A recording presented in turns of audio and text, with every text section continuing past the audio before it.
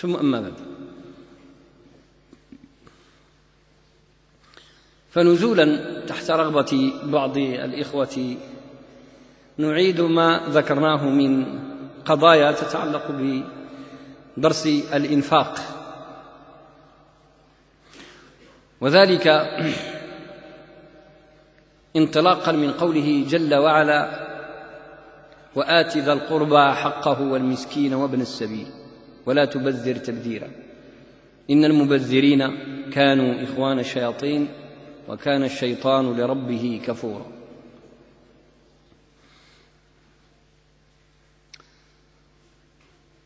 المسلم كما كان قديما في عهد رسول الله عليه الصلاة والسلام وعهد أصحابه والتابعين والتابعين للتابعين تبع التابعين. من الصالحين إلى يوم الدين. المسلم في أمر الإنفاق يفرق بين ما يكون لنفسه وبين ما يكون لله. فهو على نفسه يقتل وهو لله. جواد كريم يعطي كالريح المرسلة. وكثير من الناس لا يضبط أمر هذه المعادلة فيقتل حيث ينبغي أن يكون جوادا كريما ويسرف حيث ينبغي أن يكون قابضا يده أو مقتلا. مقتصدا. والمتأمل لقول الله جل وعلا وات ذا القربى حقه والمسكين وابن السبيل. ولا تبذر تبذيرا. يدرك أن هذه الآية قد ذكرت الأمرين الأمرين معا. الإعطاء والإيتاء والإنفاق وآت ذا القربى حقه والمسكين وابن السبيل. فهذا أمر. آتي فعل أمر. ثم جاء النهي ولا تبذر تبذيرا. نهي. إن المبذرين كانوا إخوان الشياطين وكان الشيطان لربه كفورا وكثير من الناس يظن ويتوهم أن النهي متعلق في هذه الآية أساسا بالأمر والحقيقة ليست كذلك بل الأمر ها هنا أو النهي بالأحرى معنى مستأنف جديد لا علاقة له بالنهي السابق وبيان ذلك كما يلي بحول الله. يعني بمعنى مبسط شحال من واحد كيتصور بأنه ولا تبذر تبذيرا عندها علاقة بقوله تعالى وآت ذا القربى حقه. زعما ملي تكون تعطي المسكين القريب والمسكين وابن السبيل كيتوهموا بعض الناس أنه ما تكثرش بزاف أعطيه ولكن ما تكثرش بزاف. هذا خطأ في الفهم. وكتب العلم على غير هذا من محققي المفسرين.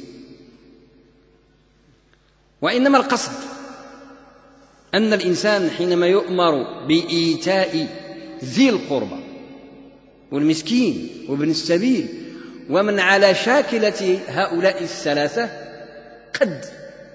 الإنسان لما كيجيه الأمر من رب العالمين كيقول له ربي تعالى ما تنساش حق بن عمك ذي القربى. من العائلة ديالك؟ أعمامك أخوالك أبناء أعمامك أخواتك إخوانك أبنائهم جميعا. يعني بصفة عامة الرحم القريبة والبعيدة. ما ينبغي للمؤمن أن ينساها في الإنفاق. يصدق عليهم ويعطيهم إن كانوا من الفقراء المحتاجين لما كيجي هذا الأمر هذا ويعطي لهؤلاء والمساكين بصفة عامة والمسكين وابن السبيل إنسان اللي براني ومحتاج من طلبة العلم مثلا ومن كل شخص رجل كان امرأة عابر سبيل لا يجد ما يتم به سفرا. ومن على شاكلة هذا وذاك لأن هذه العبارات الثلاثة جمعين جميع معاني ديال الاحتياج. كيقدر الإنسان يقول طيب أنا بغيت نعطي ولكن ما عنديش. قد يدعي الإنسان أنه ليس لديه ما ينفق. فهذه الدعوة هذا الكلام ديال ما عنديش. هذه الدعوة. ينبغي أن تحقق في ضوء قوله تعالى ولا تبذر تبذيرا. لأن واحد العدد كثير من الناس ما عندهمش ما يعطيوا البراني ولا القريب. علاش؟ ماشي لأنه مخصوص لأنه كيضيع الفلوس. ها المشكل في الكيل لأنهم مبذرون من المبذرين ولا تبذر تبذيرا. أي لا يجوز لك أن تنسى وأنت تنفق على نفسك في طعامك وشرابك ولباسك وكل ما تتمتع به من متع الدنيا. لا ينبغي أن تنسى أهلك من قرابتك المخصوصين المحتاجين الفقراء.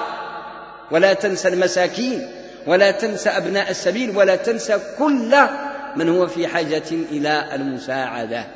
ولذلك قال ولا تبذر تبذيرا. ماشي يعني أعطيهم وما تكترش لهم لا ما تكترش على راسك. لا ينبغي أن تنفق بصورة فيها إسراف تبذير. فيما أنت تقبل عليه من شهوات الحياة الدنيا. حتى تبقي حقوق أولي القربى والمساكين وأبناء السبيل.